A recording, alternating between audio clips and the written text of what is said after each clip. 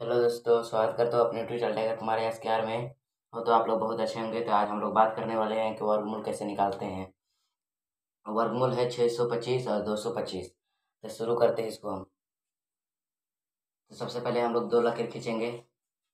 उसमें ये दोनों को, ये दो को उतार देंगे। ये हो जाएगा ये और एक ले, हम इसको काटेंगे पहले एक से एक से, एक ये हो जाएगा, एक एक कट जाएगा, एक बच जाएगा, दो सौ पच्चीस उतर जाएगा यहाँ पास इसको इसको जोड़ देंगे। इसको इसको इसको जोड़ देंगे तो टू प्लस हो जाएगा।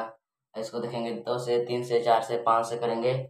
तीनों से देखेंगे तो पाँच से कटेगा तो पच्चीस पच्चीस। हाथ लगा जो, पाँच यहाँ उतार देंगे, दो पच्चीस, दस दस दस, दो बारह। जो हाथ से बचे थे उसको जोड़ दिए थे हम उसका इतना आ गया। इसका आंसर हो जाएगा पंद्रह। ये, और ये इसका आंसर जोड़ा जाएगा। आप छः सौ पच्चीस से निकालते हैं। हम लोग छः सौ पच्चीस को उतार देंगे इसे। ये ये और ये, यहाँ पर से एक, ये दो, इसको हम लोग कैसे दो दो, चार, दो से करेंगे तो दो से ठीक हो जाएगा। चार आ जाएँगे, यहाँ पास दो बच जाएगा, पच्चीस। ये दो दूनी के चार हो जाएगा यहाँ पास पचे पच्चीस। यहाँ देखेंगे दो से तीन से चार से पाँच से तो पाँच से जाएगा। तो पचे पच्चीस, यहाँ पास पाँच लिखेंगे, हाथ लगा दो। चार पचे बीस, और बीस, दो, बाईस। आप लोग का आंसर आ जाएगा। आप लोग का आंसर आ जाएगा पच्चीस।